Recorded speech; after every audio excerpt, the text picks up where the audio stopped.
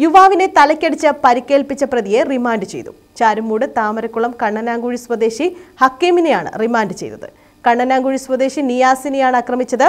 വീട്ടിലേക്ക് പോകുന്ന വഴിയിൽ ബൈക്ക് വെച്ച് യാത്ര തടസ്സപ്പെടുത്തിയത് ചോദ്യം ചെയ്തതിനെ ചൊല്ലുണ്ടായ തർക്കമാണ് അക്രമത്തിൽ കലാശിച്ചത്.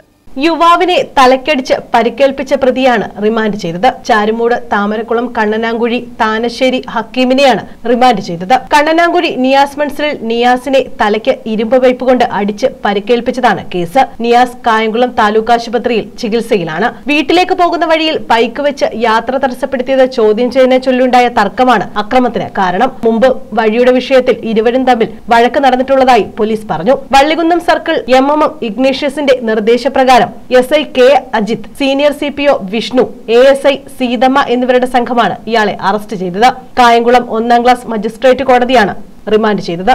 News bureau Kayamkulam.